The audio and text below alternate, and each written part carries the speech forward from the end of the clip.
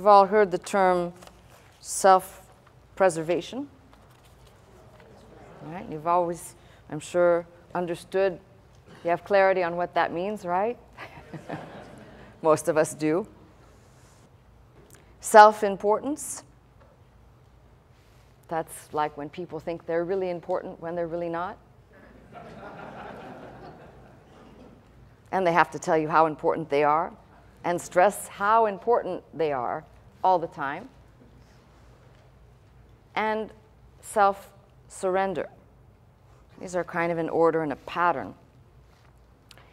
And I knew the subject that I wanted to talk about today, but I had to find the right place in the Bible. The Bible is, you can find anything you want to teach and to illustrate and to glean. So I wanted to find something that captured that, but at the same time, um, I chose a chapter out of the Old Testament that actually brings four different reactions from four different personages, all packed into one chapter. Um, the main focus, I will stress, but there are some minor players that have either self preservation self importance or self surrender at their core. So I'm going to take you today to 2 Kings, and which comes after 1 Kings. and, and the fifth chapter. And it's a, probably a familiar one for those who have read this. I can ask you, how is the temperature in here? Is it hot? A little stuffy? I'm thinking, I'm standing up here and I'm thinking, am I just hot or is it hot? no, don't take that that way. That would be self importance. Somebody, please put the air conditioner on just a little bit more, as I am, I'm sorry. I feel like I'm in a pool of sweat, and I cannot stand here another minute. It's like the demons of the old days have surfaced. Except we don't have to deal with the loud blower anymore. All right. Keep your mind on the Lord, folks. So it's 2 Kings, 5th chapter, and begins with now Naaman, captain of the host of the king of Syria, was a great man with his master and honorable because by him the Lord had given deliverance unto Syria. He was also a mighty man in valor, but he was a leper. So, six things we are told about this man, captain of the host of the king of Syria, great man with his master, honorable. His military successes are credited to the Lord, and that he's a leper. This is a very strange, you know, you can read some of these things and you can read right by them. This is a very strange um, description six things about this man. It's interesting that six is the number of a man, but six things are said about this individual. And I could take the time to, to elaborate, but I think they kind of are self evident. The last one is the most peculiar one because within reason, now I'm going to use the word Gentile. This is not a man considered a man worshiping the God of Israel, so I'm going to refer to him as a Gentile. So different than those who would be familiar with the Mosaic Law and the prescriptions of the Mosaic Law for leprosy and for lepers. There is no prescription here for the Gentile. It just is, it's a condition. Um, if I were to take the time, if I were to take the time, but I've kind of written a synopsis in front of me of the 14th chapter of Leviticus, which describes in great detail how the leper presented himself not to a doctor but to the priest. Three lepers were cleansed in the Old Testament, and it's interesting, Naaman is one of them, um, but the one that you probably comes to your mind instantaneously is Miriam, but the one not so evident is Moses. He was actually, he had leprosy for a short time when God was just about to send him to Pharaoh. Put your hand inside, take it out, see how white it is, put it back in. For a time, even Moses was smitten with leprosy. So it's kind of interesting, the three that were healed. Um, what is interesting in the law You know, most people tend to read over those chapters in Leviticus because they have so much detail in them and they kind of at times can appear a little tedious and laborious to read. Um, but there are some interesting things if you take the time in your own time to read that 14th and part of the 15th chapter, I believe, of Leviticus. The actual cleansing of a leper in the law took place over eight days. And it's interesting because really the eight is the number of new beginnings. And really, what happened on the seventh day was a repeat of the first day in preparation for the eighth day, if that makes any sense. But all of these represent stages. If we were to take types and look at the types of Christ, we could also see here are types unfolded as well. Um, the priest would take a small bird and kill it over an earthen vessel and then also kill it under running water. And I don't think there's an error there. The earthen vessel is typified. We could call it the, the earthly or earthen body of Christ. The water, we could talk about it as the Holy Spirit or the Word of God. But these things all somehow merge together the hyssop, the, the blood, the scarlet, um, what is attached when they took the cedar stick and attached the hyssop for the priest to seven times um, sprinkle the leper. So all of these things are interesting, and they, they actually play into a prescription that will be given to Naaman in a very weird way, actually, because the law is not being followed here. There's a different prescription for this man's leprosy, but you've got to always go back and see how God dealt with it in its clearest way. In fact, in its clearest way, if you go back and read the chapters in Leviticus, you find out that although the priest went through the rituals that were prescribed, there was no guarantee that a leper would actually be healed and or they could be cleansed, but not guaranteed to be healed. That's a very interesting thing. In other words, in that culture and in that time, it was a walking death sentence unless God did the act.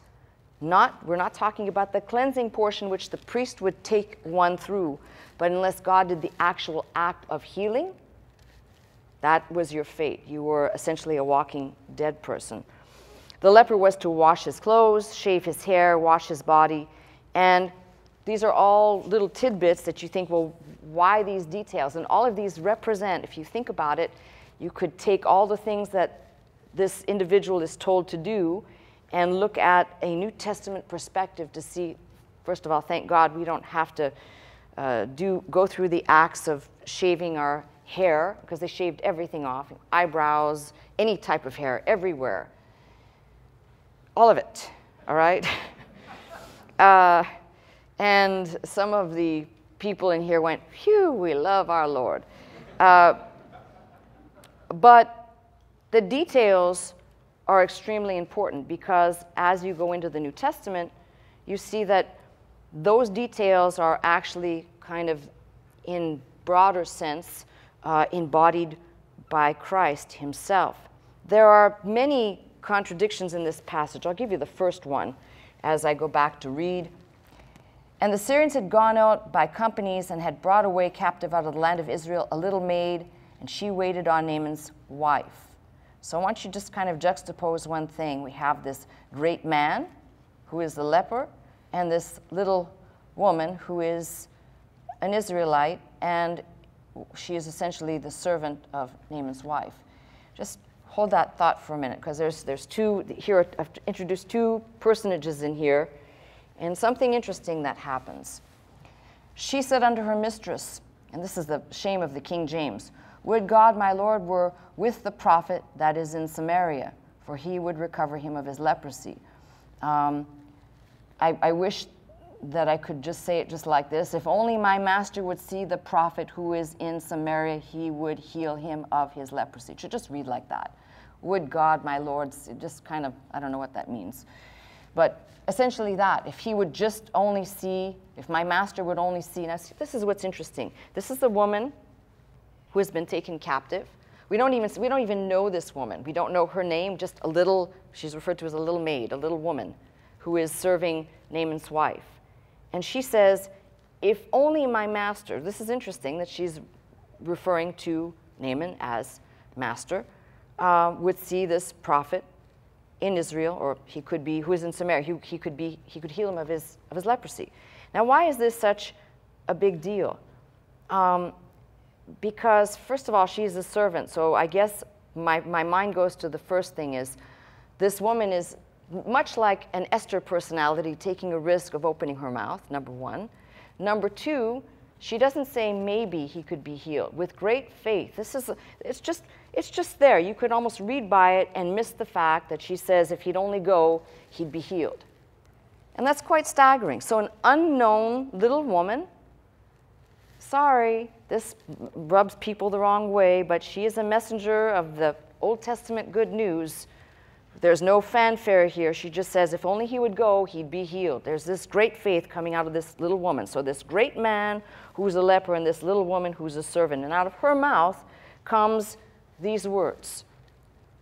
Now, that should be just as a little footnote here that um, you know how in the New Testament, how it describes, Paul says God uses the smaller, the base things. Here's this little woman opening her mouth and saying a thing. And of course, what's interesting is the reaction of the wife, because it says, and one went in. Obviously, the wife went in and told his Lord. The King James is kind of a mess here, saying, Thus and thus, thus and thus said the maid that is of the land of Israel. Now, this is kind of where things go interesting. The words came from that little maid, the words of good news go and be healed, essentially, if he'd only go. The news is carried, and it seems like, you know, we, we can just read right by this, but this is how even the good news today is, is spread. And I hate to tell you, but you know, you can find a lot of examples, not just of women, but of people in general who have this great faith and they make a bold declaration. And it's all designed for those of us who can understand those who God gives the capacity to hear and to see versus those that don't. It could have been that the wife could have said, Oh, this is nonsense. My husband bows down at the shrine of Rimmon or whoever, whatever, wherever God exists and he's the only God. But yet, her words were listened to. And that's why I tell you never discount the messenger, but more importantly, listen to the message. Because it's the greatest error, I'm telling you now, with all of these years behind me, including looking at the years of Dr. Scott's ministry, where people focused on the wrong thing. I preached a message on this once. If you keep looking at the messenger, you will never hear the message. So that's a small little detail, but quite important. The king of Syria said, Go, go to, go, and I will send a letter unto the king of Israel. And he departed and took with him ten talents of silver, six thousand pieces of gold, and ten changes of raiment. He brought the letter to the king of Israel, saying, Now, when this letter is come unto thee, behold, I have wherewith sent Naaman my servant to thee, that thou mayest recover him of his leprosy. It came to pass when the king of Israel had read the letter, that he rent his clothes and said, Am I God to kill and to make alive, that this man doth send to me to recover a man of his leprosy? Wherefore consider, I pray you, and I see how he seeketh a quarrel against me. Now just stop for a second and follow the line of thinking. There's so many things going on here. Some people hear, and their device is obviously not tuned in to the right frequency. What did she say? Oh, that my master would go and see the prophet.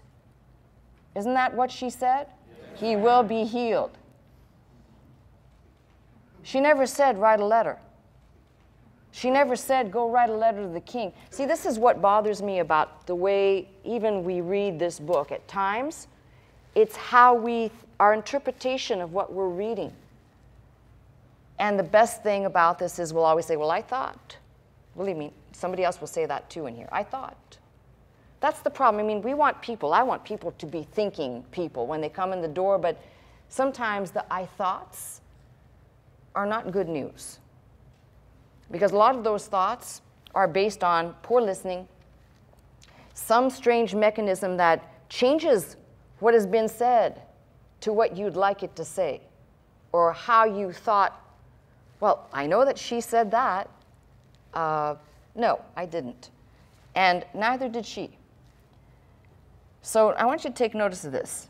He heard, and to some degree, there is definitely on the part of Naaman the desire. Obviously, he wants to be healed, but there's self preservation at the get go, self interest, self importance of um, how obviously he goes straight to the king, not listening to the instructions. And the instructions were go. I wish my master would go and see. And I believe that there would have been no requirement for any letter at all. And look what happens the reaction of the king. This is what I love about this book. The reaction of the king of Israel, because he's so corrupt, is to essentially say, Am I God? He's corrupt, by the way, and obviously he doesn't believe in the prophet that lives in his own backyard. Think about this. Because if, if he did, he would have said, I can't, but I know a man who can. You know, this is the stuff that you know, you, you kind of read this and you, you discover that there are personages in here that fit really all the types that you'll encounter in the church. Um, so it's remarkable. The, the reaction of the king, Am I God to kill, to make alive? This man does send me to recover a man of his leprosy. And he says he thinks this is war. This is a trick and it's a plot to make war with him. Now, there's self importance if I've ever seen it. You know, he, he's so worried about himself and he can't really see that whatever, the, whatever was contained in the letter obviously didn't really matter to him. The fact that this man thinks that he's going to come to him with his condition. No sympathy. Obviously, um, you know, the king kind of reminds me a little bit of those people that say, you've heard me say this for weeks now. They say they're Christians, but they don't know the Bible. They say, Oh, I'm a Christian. Ask them one question about the Bible, and they cannot answer it. Or they can tell you, they can lecture you about the, the, the um, quick quips over the years that they have morphed into what they thought it says. Um, they've heard people say things.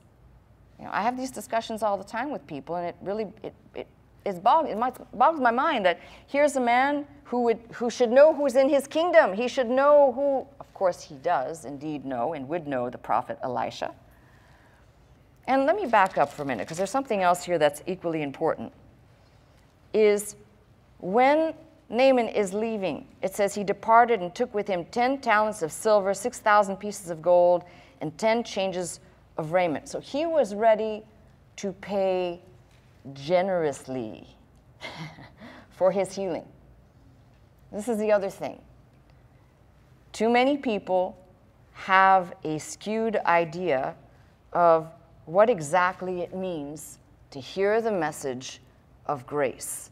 Now, I'm one that will tell you you give when you're taught. That's the response that should happen inside you. But if you think that you can buy your way in or work your way in, you're sorely mistaken.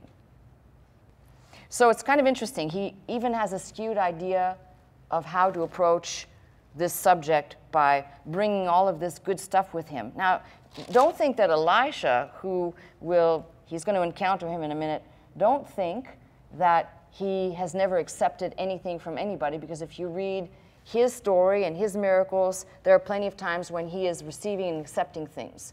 In this case, there was a specific reason as to why th- these gifts would not be taken. Let's keep reading now. So, and it was so when Elisha, the man of God, had heard that the king of Israel had rent his clothes, and that he sent to the king, saying, Wherefore hast thou rent thy clothes? Let him come now to me, and he shall know that there is a prophet in Israel. Now, don't you think that's tragic that the prophet has to remind the king and not the other way around? The king should have said, I know, as I said, I know a man who can, right? Instead, Elisha gets wind and he says, Send him to me. So Naaman came with his horses and his chariot and stood at the door of the house of Elisha.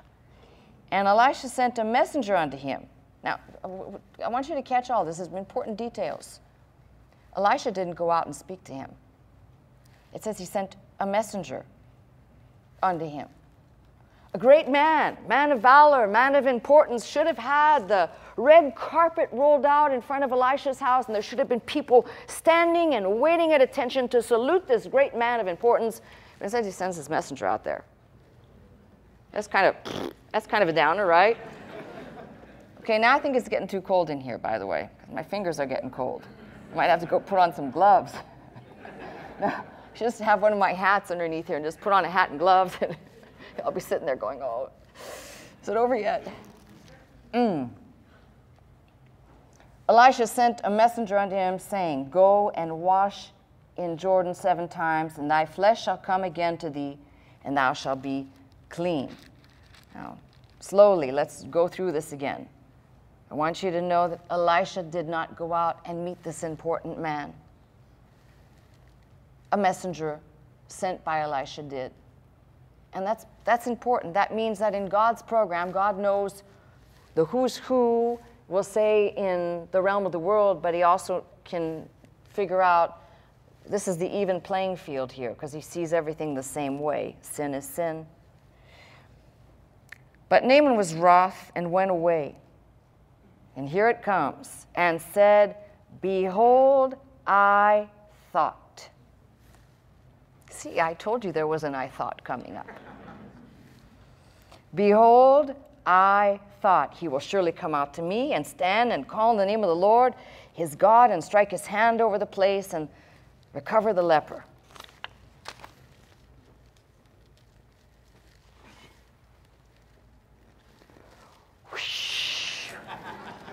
right?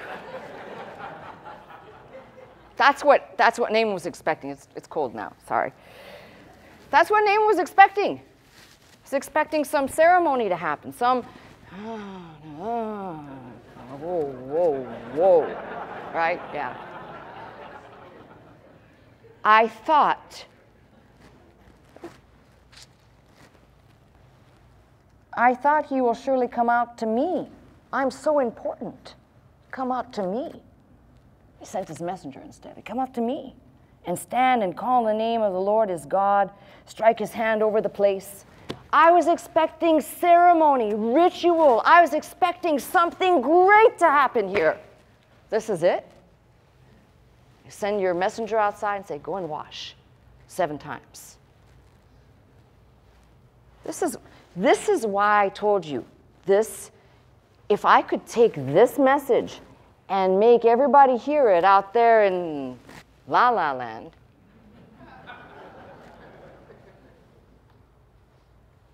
because that's the problem. People come into the church and they expect they are like Naaman. They are expecting that there should be some great fanfare and there should be some great. That's it. And she she came out here. They did music. She came out here. She spoke for an hour and they sung again and she left. That's it. Now listen, I'm I'm not Elisha. But that's the mindset of people. That's it. The instructions are too simple go wash seven times. I was thinking he was going to tell me, now I gotta, gotta lay down.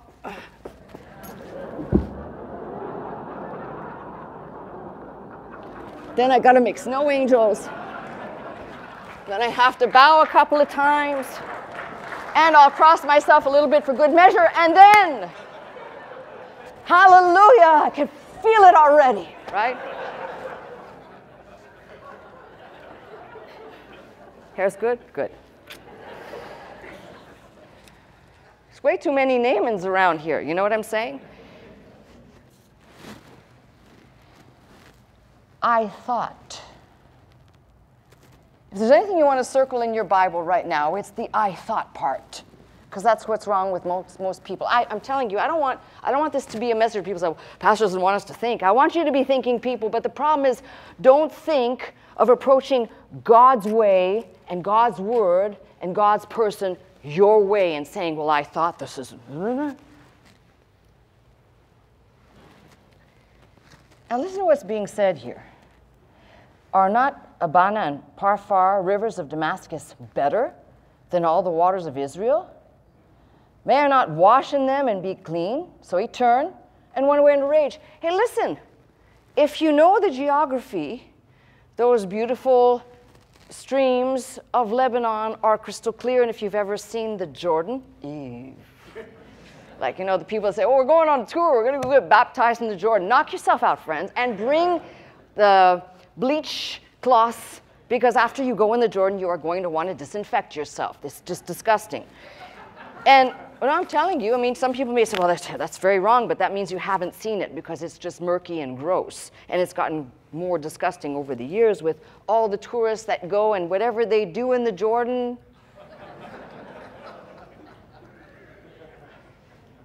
Take me to the water.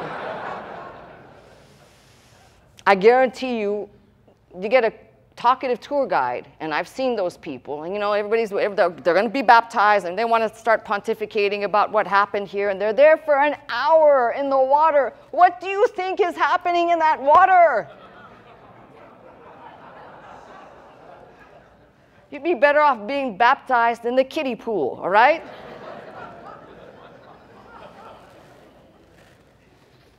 Just saying. So he says, Are not Abana and Pharpar, the rivers of Damascus, better than all the waters of Israel? So the problem is that he thought it would be better to be, I had to go and wash and dip and cleanse myself seven times in clean water than this dirty water. It was even dirty back then, by the way. So he turned and he went away in a rage, not willing to listen to the instructions. Now you can, you can go to the New Testament, and this is on a similar note, the rich young ruler who came to Jesus and said, What must I do? And I've done all these things from my youth. And Jesus said to him specifically, this is not a general order to all the people, but to that one man who was rich, sell all that you have, give it to the poor, and then follow me. And he went away very sorrowful because he had many, much possessions, and he wasn't willing to do what the Lord had bade him to do. Here, we have clear instructions from the prophet the messenger tells him, saying, Go and wash in the Jordan seven times, and thy flesh shall come again to thee, and thou shalt be clean. Just too easy. There has to be something more. I got to go. I got to go in the waters of my choice. I got to do it the way I think it ought to be done. Not my will, Lord, but thine. But just let me put a halo on what I want to do, under the guise that it's all for you. That's the other part of Christianity that really works well. If you've noticed, and his servants came near and spake unto him, and said, My father, if the prophet had bid thee to do some great thing, wouldst thou not then have done it? How much rather then when he saith to thee, Wash and be clean? Smart servants right there. You know, if, if the prophet said, You got to go and skydive, and, well, I don't know about skydiving. Let's pick something that's realistic for that day and age. You got to go and do hand to hand combat with the fiercest, meanest lion and live. and then after that, you got to maybe give maybe the challenge like they gave to David. You know, so many Philistine uh, circumcisions, all right? So many things that had to be obtained. You know, give me some impossible thing that I have to do. Give me some, that's it. Go and dip seven times. That's all. Yep. So smart servants, I like this. Servants come and they say, you know, if they ask you to do some big, great, great big thing, would you not do it? So how much rather than just to wash and be clean? Then he went down and dipped himself seven times in Jordan, according to the saying of the man of God. Now I can just see this man going down once and coming up and let me backtrack for a second because to, in order to go and dip in that water, he had to strip himself of all of his, he's a military man, of all of his, all the trappings that marked him as an important person. Now you can kind of fail to understand that in the bigger scheme of things, that God sees everything the same way. Once you strip away all the garbage and all the claptrap we like to put on ourselves, strip down to if he was wearing his little skeevies or whatever he was wearing. Maybe he was wearing nothing, doesn't matter. Now he's dunking himself. And probably the first time down, probably coming up, and he was probably gritting his teeth saying, This is dumb. I'm just dirty. Second time going down, coming up, up, nothing's changed. Third time, fourth time, fifth time, sixth time. Wouldn't have been something on the sixth time. He said, I'm out of here. This is stupid. it was just one dip away. but it says he dipped himself seven times in Jordan, according to the saying of the man of God, and his flesh came again like unto the flesh of a little child, and he was clean. And that's the miracle of this passage. Here's a man who was very important, important in his own mind, in preserving his own way. There was something wrong, by the way, in all of this, which you can sift down to pride, that this was just too easy. You know, people will come into the church and they will they will ask the same question over and over again. For this ministry, the question is always, well, why doesn't she do an altar call? Because there has to be some action. There has to be a call to action. There has to be something that I should do. I've told you the story when I came into the church, and I hadn't been in the church in a long, long time. And I thought, well, surely there's something that I'm supposed to do. I, just like Naaman, there's something that this is too easy. I just sit here and I listen and I, I study and I read and that's just there must be something missing.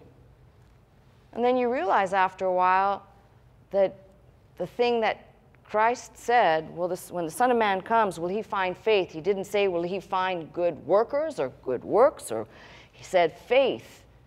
And the only way faith comes is by hearing the Word of God. And faith is increased as you seize opportunities that may seem dumb at face value to go dip in dirty water seven times. But if the man of God said, This is the way you're going to be clean, then methinks that if that's what it says, then go and do what it says. And he says he was clean. And he returned to the man of God, he and all of his company, and came and stood before him and said, Behold, now I know that there is no God in all the earth but in Israel. Now, therefore, I pray thee, take a blessing of thy servant. But he said, As the Lord liveth, before whom I stand, I shall receive none. And he urged him to take it, but he refused. And the reason is very simple. In this particular instance, Elisha knew that there was no way, if he took the money, if he took the goods, it would be that Naaman could go away and say he had procured it in, in, in a way. No, this was all done of God. And this is the same way we describe salvation it's all of God, not of works, but by faith. And we're saved by faith. And faith alone takes you in and takes you all the way home. So we've not covered all the people, though we're close to getting all the people here. He urged him to take it, but he refused. Naaman said, Shall there not then, I pray thee, be given to thy servant two mules' burden of earth? For thy servant will henceforth offer neither burnt offering nor sacrifice unto, unto other gods, but unto the Lord. In this thing the Lord pardon thy servant, that when thy master goeth into the house of Rimmon to worship there, and leaneth upon my hand, and I bow myself in the house of Rimmon, when I bow down myself in the house of Rimmon, the Lord pardon thy servant in this thing. And he said unto him, Go in peace and he departed him a little way. Not done here, because we've at least seen some part of the reaction. And, but there is something I want to talk about because it's delightful to know that when God says something, you want to pay attention.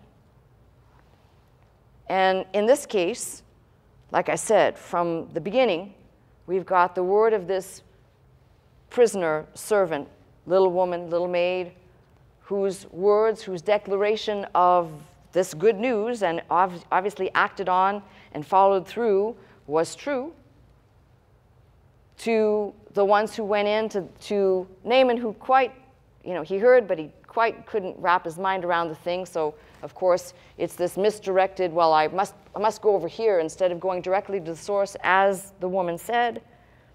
And then his you know, his protest. There has to be something more. There's got to be something bigger here than just this act of dipping.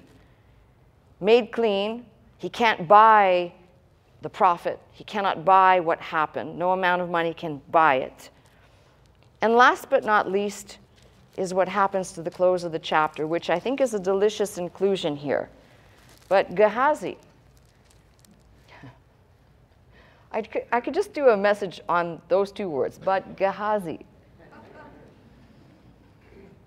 The servant of Elisha, the man of God, said, Behold, my master hath spared Naaman this Syrian in not receiving at his hand that which he brought. But as the Lord liveth, I will run after him and I will take somewhat of him. I am on a mission from God. I got to go take that stuff that was that should have been taken. Elisha's stupid. He doesn't know what he's doing. I'm going to go and get it. Now, this is a note to the few critics out there who are always busy nitpicking. You know, well, if I was her, I would I'd never send people's money back if they have an issue with the ministry or with her. No, that's called character before God. That's called doing, doing it God's way because that's what the people in this book would have done. Same principle. But there'll always be a Gehazi that's in, in the Gehazi in the midst that wants to say, well, you know, you shouldn't let that go to waste right there. So if you don't take it, I will. There's a sucker born every minute, right? So Gehazi followed after Naaman. And when Naaman saw him running after him, he lighted down from his chariot to meet him and said, Is all well? He said, All is well, but of course everything's good. My master hath sent me. This lying, conniving guy saying, Behold, even now there be come to me from Mount Ephraim two young men of the sons of the prophets. Give them, I pray thee, a talent of silver and two changes of garment. Naaman said, Be content, take two talents. And he urged him and bound two talents of silver and two bags and two changes of garments and laid them upon two of his servants and bare them before him. And when he came to the tower, he took them from their hand, bestowed them in the house, and he let the men go, and they departed. lying, conniving, greedy. And this is, by the way, this is someone who's, uh, we'll call him Elisha's servant, his right hand man. So there's another lesson here that uh, a Syrian Gentile can be a better convert than the one right next to the preacher. That'll hit some of you soon. Uh oh. Why'd you have to go ruin the message with that? But he went in and stood before his master, and Elisha said unto him, Whence comest thou, Gehazi? And he said, Thy servant went, went no whither. He said unto him, Went not mine heart with thee when the man turned again from his chariot to meet thee? Is it a time to receive money and to receive garments and olive yards and vineyards and sheep and oxen and menservants and maidservants? The leprosy, therefore, of Naaman shall cleave unto thee and to thy seed forever. And he went out from his presence, a leper as white as snow. Now, here's what's interesting. What a, what a bad way to end a chapter. You know, you want, we want this to be like a reality show where everything ends well in 30 minutes and everybody's happy. But the fact of the matter is, there's, there are, as I said, there are several people in here, several personages that take a lesson of self-importance, not just this Gentile uh, mighty man, but this servant of Elisha's who thought he was important. In his mind, he was, this is greed at work, but it's self importance. Well, if you're not going to do this thing, I'm, I'm going to look out for me. This is my deal. I'm going to go get that stuff. And what's so charming about this is, again, you can take a page out of this and put this in the New Testament because this is exactly what happened with the Spirit of God revealing the acts of Ananias and Sapphira. Like, you really think you're going to fool God? Which is why I said from the get go. And I've been saying this for many weeks now. You know, I think the statement that's been said here for so many times if you're going to be a Christian, be one should be understood in this way that if the Spirit of Christ is with an individual, the Spirit of God is with an individual, it means at all times, it means uh, for the, the, the heathen uh, mighty man, just as much as the maiden who's in prison, obviously in, in servitude for a purpose, as part of we'll call it the cog in the salvation of this man and his cleansing, but equally so to show you that there can be people right beside the prophet, the man or the woman of God, who are just dirty rats looking out for themselves. Buyer beware. That's all I got to say to you. But in the bigger picture, it's interesting how he says, The leprosy, therefore, of Naaman shall cleave unto thee. You know, that says a mouthful when you think about it that God was willing to receive someone from the outside more, uh, we'll call it rapidly, uh, than someone who was right there on the inside professing to be something that he was not. In the big picture, what I want you to walk away with today, as I decided that this really kind of embodied the, the, the, three selves that I talked about self importance, which is probably at the top of the list, uh, self preservation, but the most important one is self surrender. Because at some point, the pride of Naaman was broken. He wasn't expecting the fanfare. He indeed went and did the simplistic thing of dipping seven times. And the self surrender at that moment to God's word, to God's person, and to God's word brought him to the state of being cleansed and being whole, versus the one who's right by the side of the man of God and very easily did what was right in his own eyes. And there's way too much of that within the body of Christ. Forget about outside.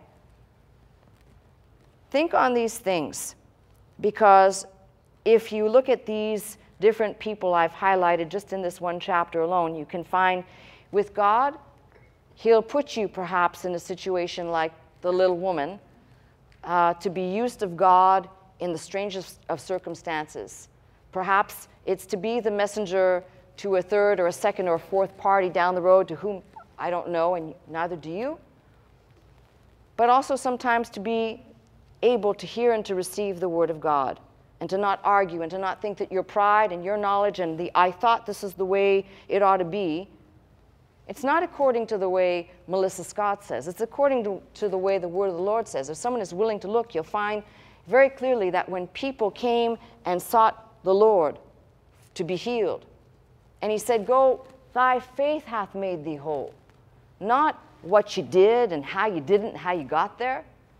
The most important thing is to be able to hear and to let those words sink into your heart, take root, and when the time is, as for Naaman, this very simple act of dipping seven times, when the time is to say, Thus saith the word of the Lord, and this thing that is in God's book is my it is my title deed to something I don't yet possess, but I'm holding on to say I claim it, it's mine. I'm not talking about the tangibles. I'm talking about the things that cannot be seen, that maybe cannot even be known at this moment, but are the things that we hold on to by faith and not some misguided, misapplied, misappropriated idea like somebody says, Well, your faith, my faith is in Christ. And when we talk about that being rooted and grounded there, I can take every single promise that's in this book, whether my need today is for healing and I said the leprosy that, Naaman suffered was, to the Old Testament, an incurable disease. And to us looking at the New Testament, obviously Christ can talk and heal as those 10 went along, and he says, Where are the nine? Just in speaking, just in speaking the word, just in declaring a thing, and it is. No need to go through the rituals and everything else, but the faith that says, So be it unto you is the same faith that should dwell richly in your heart. We're not saved by some way of purchase. We're not, purchase is Christ, his blood, but we're not saved by the works or the, we'll call it the things, the effort that people think. And Naaman preeminently depicts this whole beautiful tapestry. You can have many people stuffed into one chapter with different reactions. The king, who should have been very quick to say, I know a man. The woman whose declaration sent another woman into that one's presence to say, Go, I've heard of this one. Right to Naaman going and doing what he did. And then, of course, as I said, there's always going to be people that are those barnacles within the church, within the religious spheres, within the spiritual life who will do things their way for the benefit of themselves because they're so important in their eyes. But in God's eyes, He sees it all and He says, I'm not going to let you get away with it. Now, Gehazi is smitten with Naaman's leprosy. For us in the New Testament, we might say something like, We're not going to be like dogs returning to their vomit. We know from the pit which we were dug, we, we don't say, Well, I'm just going to erase the pit and walk away. This is the beauty of God's book. He doesn't try to erase any of the very human and very natural things. He says, This is it. And I'm going to, excuse me, to be just this. He says, I'm going to let it all hang out for you to all see. This is exactly the way it is. And if you don't like that, don't come back with, I thought. Come back with, Lord, have mercy on me. I'm in need of your cleansing power, and I'm in need of your love and your everything that you have to offer, I'm in need of. And I don't come saying, I thank my God I'm not like so and so. I come saying, I know my condition, destitute, empty. Lord, here I am. I present myself. Here's the self surrender, which I've week in, week out have referred to the scriptures. You should know it like this You are to present yourselves a living sacrifice unto the Lord. That doesn't mean that you come and you say, Well, I'll do part of this thing, but Lord, I owe it all to you. You paid it all. And the very least I can do, the most reasonable thing, is to present myself in surrender to you because you will order my steps. You'll be the light under my feet. You'll guide me.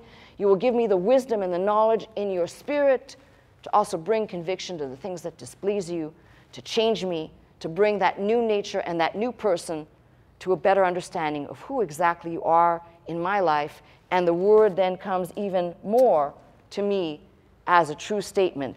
Simply put, this is my word, abide in it, and I will abide in you. This is the sayings of this passage for me. I hope it speaks to you and shakes up some of those people out there that say, just that? Is that it? That's it, folks. That's my message.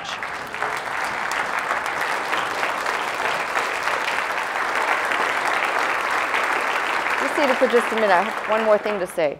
Now, there may, you may be seated. There may be a couple of people listening saying, oh, is there going to be an altar call now? now, for the benefit of those people who didn't hear what I said because they, they, I thought, I want you to listen to what I'm going to tell you. You know, the expression, you can lead a horse to water, you can't make it drink. I can stand here and I can tell you the simplicity.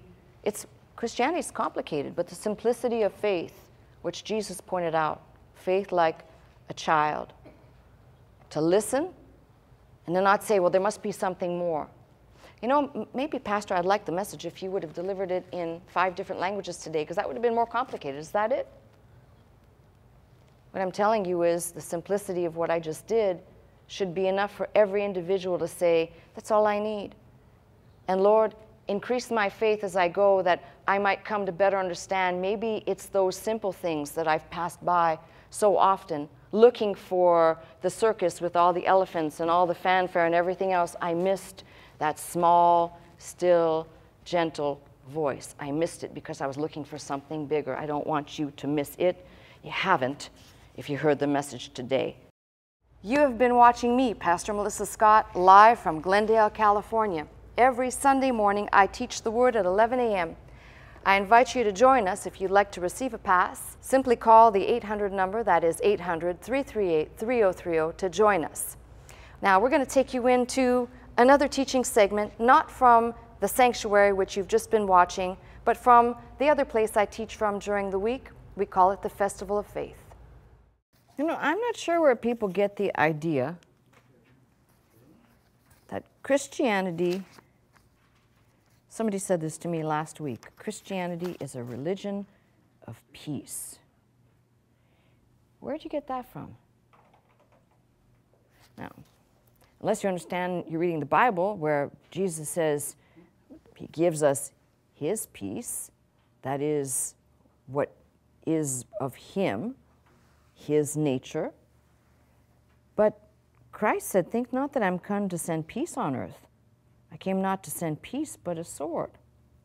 For I am come to set a man at variance against his father, and the daughter against her mother, and the daughter in law against her mother. In law, and a man's foes shall be they of his own household. He that loveth father, mother more than me is not worthy of me, and he that loveth son or daughter more than me is not worthy of me.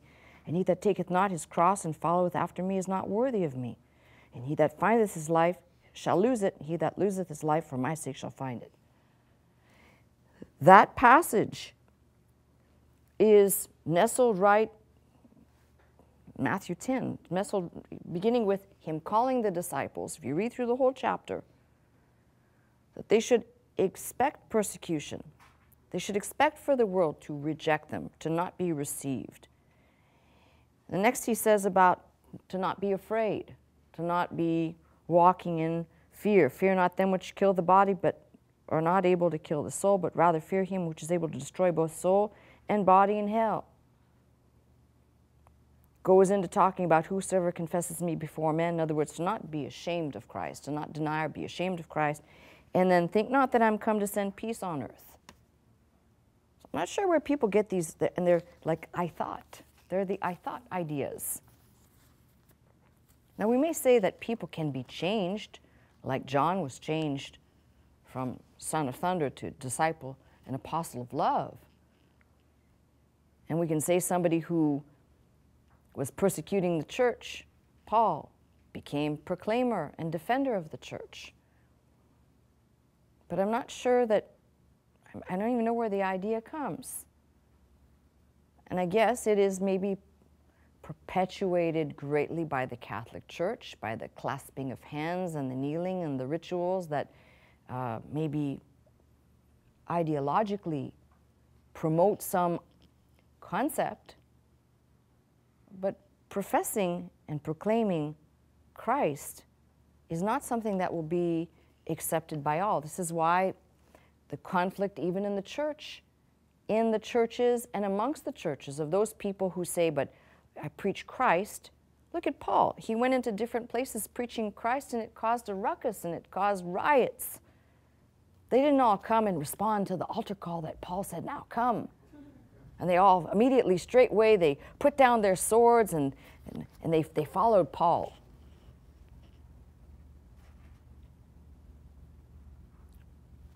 But even in the modern church, this is the age old battle. People see the masses coming to these evangelist and these evangelistic services.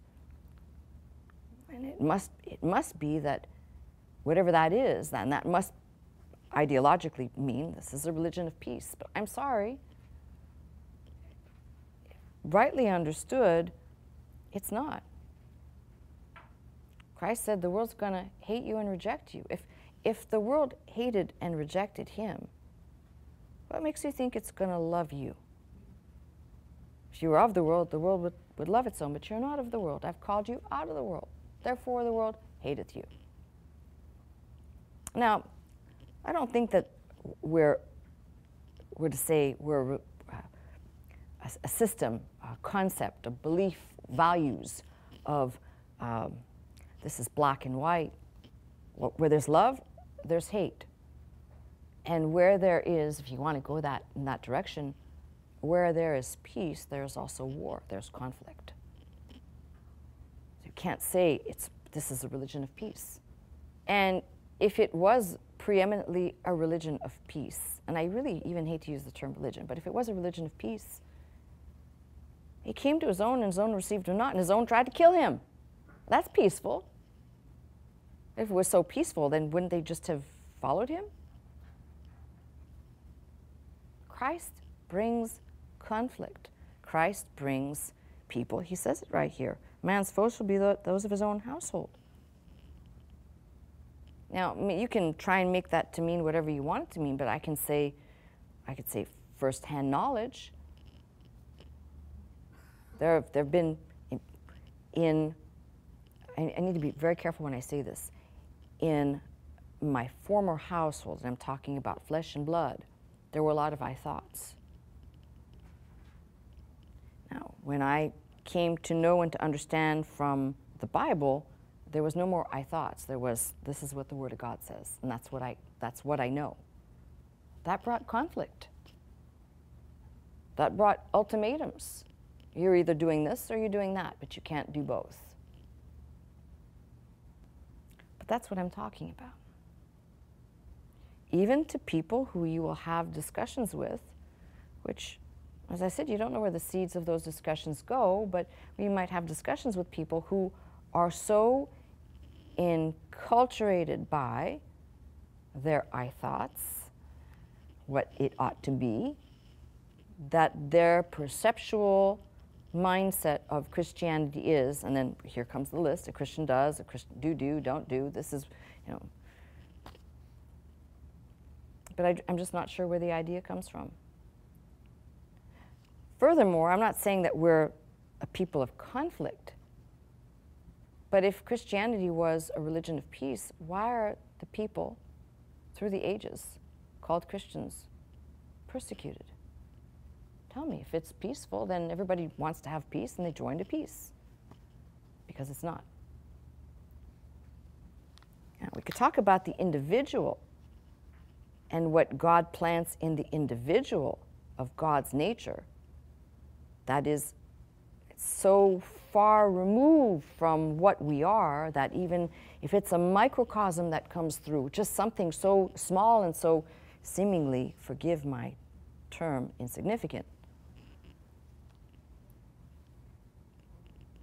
which will be what Galatians describes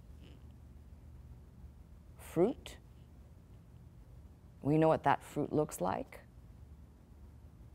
But is it all this? Is it all what people described?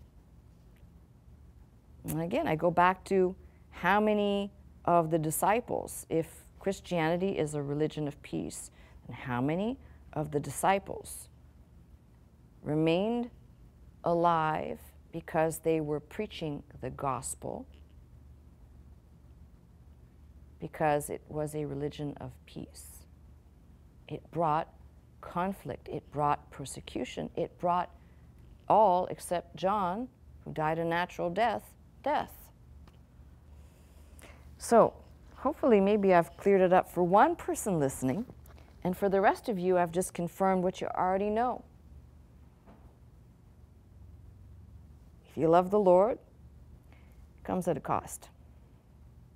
And that cost is usually either friends or family, people close by. Could be coworkers, could be anybody around you. Just they just develop a disdain, a dislike for you because of who you are, what you do, why you do it.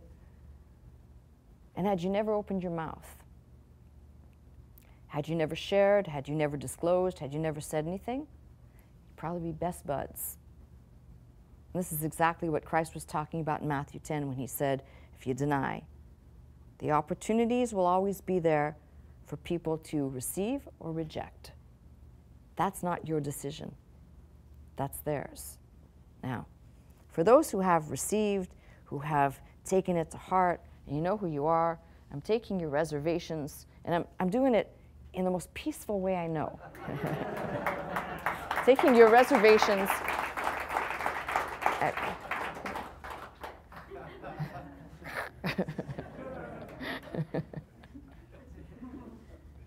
what? All right. Reservations, commitments. I know there's people out there listening and saying, okay, she just put it all out there, and it kind of sounds like she just let it out there like that. So sounds reasonable to me. And I'm not asking you to just take my word. I always tell you, check it out in the book. You'll find there are more things to back up what I've just said than all the traditions and all the stuff that's peddled out there in the name of Jesus. Now get on the telephone.